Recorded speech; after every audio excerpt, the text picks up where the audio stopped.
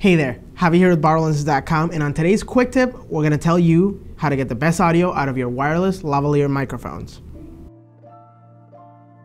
So let's start with the basics. What is a lavalier?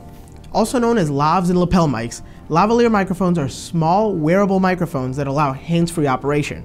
They come in both wired and wireless variations, but wireless lavaliers are the most common. They come with a microphone, a transmitter, and a receiver. And aside from being able to pin them on your talent, wireless lavs allow you to be untethered from your audio recording device, ideal for subjects who will be moving around unpredictably. Wireless lavs are useful for documentary, news, and any run and gun situation where you might not have a boom operator. So our first tip for using wireless lavaliers is knowing what kind of microphone your wireless pack uses.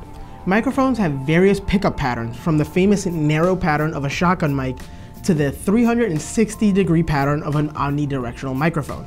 Nine times out of 10, lavalier microphones use omnidirectional microphones, which means that the direction of the mic is less important than the distance to your source. If you were to place a microphone an appropriate distance from your audio source, it won't matter if it's not pointing directly at it. Our second tip is about placement.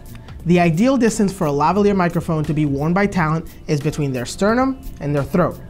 If you put your mic too close to your subject's throat, your audio could sound boomy because it's picking up too much of the low end register. Place your mic any further, and you're gonna have to crank up your gain and introduce unwanted noise. Think about which direction your subject will be speaking to. If your talent will always be facing to their right to speak to an interviewer, it would make sense to place the mic on that side of their chest or body as opposed to dead center for better audio quality. Another note on placement. Most wireless lavs come with a clip that is great for quickly attaching lavs to articles of clothing. Mic clips also allow you to create a little loop to provide tension relief for your microphone's cable. When you have to tape your microphone to your talent, most pros will use moleskin, which has a sticky side and a soft cotton side that reduces the rustling created by clothes. In a pinch, you can also use a little gaff tape triangle that ends up being sticky on both sides and makes it easy to mount a microphone.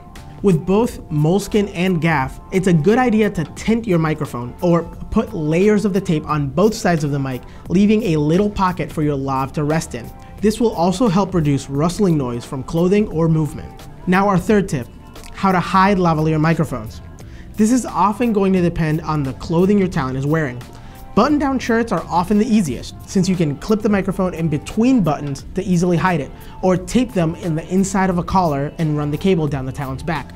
Another easy one is when your talent has layers. A t-shirt like this one with an open jacket gives me plenty of room to clip the mic directly onto the shirt and hide it under the jacket. Women's clothing sometimes poses a different challenge, especially if the shoulders are exposed. A great trick is to have talent clip the microphone to the straps of their bra or to the center between both cups. Of course, there's always the option of taping the mic directly onto your talent's skin under their clothing. Remember to use those little tape tents to reduce clothes rustling and have it taped to an area where the mic bulge won't be noticeable. Our last tip is about set etiquette when using lavs. When you're working with microphones that will be worn by talent, you'll be getting into people's personal space. Communicate with talent before you do anything and ask for permission. Give your talent the option of placing the mic themselves, especially if the microphone will go under someone's shirt. More often than not, your talent will be more than happy to follow your instructions and get the mic placed themselves in the ideal position. And those are our tips for using wireless lavalier microphones.